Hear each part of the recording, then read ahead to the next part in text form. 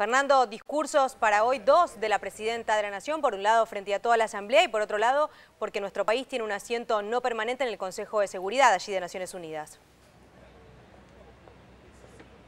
Es tan importante porque la verdad nosotros que estamos acá desde hace varios días eh, y hemos eh, recorrido los sectores académicos, judiciales, políticos, de dirigentes sociales, hemos visto cómo el tema de la postura argentina contra los fondos buitre y obviamente el fallo que ha dictaminado que se ponga de alguna manera en riesgo la reestructuración de la deuda externa argentina, que se caigan las reestructuraciones y quita de 2005 y 2010, ha generado tanto debate, tanto debate se ha planteado en todos estos ámbitos que gran parte de toda esta comunidad de distintos rubros, pero que particularmente también del mundo financiero, Wall Street está aquí, claro, eh, van a seguir pormenorizadamente eh, el discurso de la Presidenta de la Nación, el primero, en un ratito nada más, aquí en Naciones Unidas.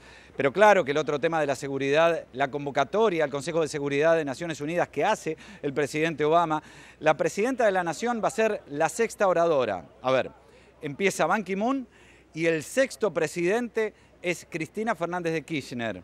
Eh, va a ser la que va a hablar. Así que hay que tenerlo en cuenta porque también Argentina va a marcar una postura en esto que va a ser la convocatoria al Consejo de Seguridad de Naciones Unidas. Eh, Roberto y, Agustina, y una cosa más, te tiro un dato porque la, información que tenemos es nueva. La Presidenta de la Nación se pensaba, y se ha venido barajando en todos estos días la agenda, que una vez terminado la reunión y la exposición de la presidenta en el Consejo eh, de Seguridad de Naciones Unidas se iba.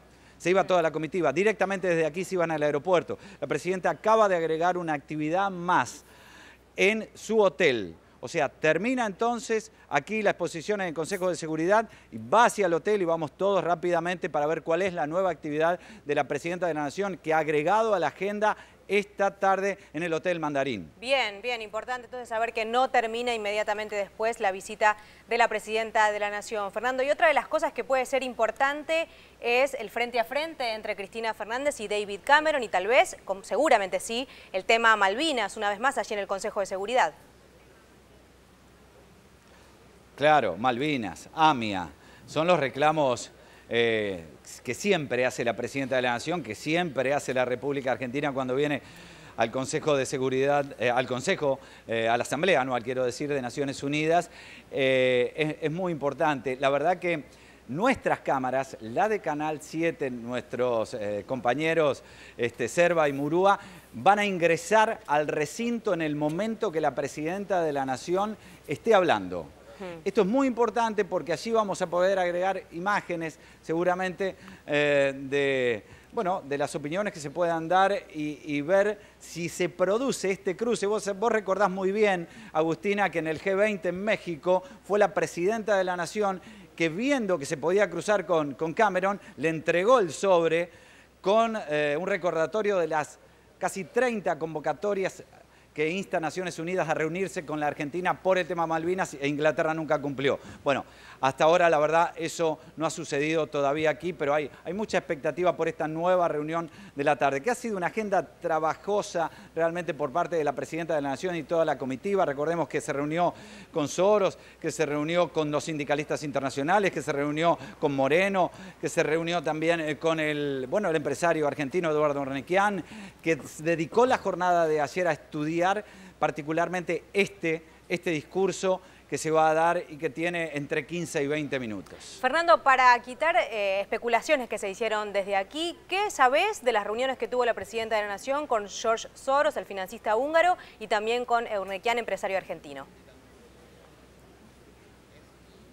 La verdad que con Eurnequian es un poco más difícil porque no hubo ningún vocero, eh, por lo menos del empresario argentino. La verdad que nosotros lo vimos entrar. Hizo un chiste cuando entró este, que no vale la pena contar, un chiste menor. Este, vengo a reunirme con la Presidenta de la Nación, eh, dijo entre otras cosas. Eh, pero también lo vimos entrar al Hotel Mandarín a George Soros, un hombre, la verdad, que eh, por ser uno de los hombres más ricos del mundo, camina con bastante poca custodia. Se bajó de un auto, un hombre de 84 años, este, que viene caminando con su traje tranquilo, un traje común, y dos eh, hombres de custodia al lado bastante pegados. Subió al piso 64 del mandarín, a nosotros nos frenaron en el 35. Eh, el vocero de Soros sí dijo que habló con la República Argentina sobre buitres, sobre inversiones en energía, pero no daba detalles y sobre la, postura que apoya históricamente la República Argentina contra los fondos de especulación que quieren hacer caer la reestructuración de la deuda. Pero bueno, si por casualidad en esta nueva actividad algún funcionario pueda dar detalles luego del discurso de la presidenta, o quizás hable la presidenta, hay mucha expectativa por esto, ¿no? Así es, Fernando. Bueno, muchas gracias, Fernando Alonso, en vivo desde la sede de Naciones Unidas. Eh, aproximadamente, mm, mm, ¿a qué hora hablará la presidenta, calculás?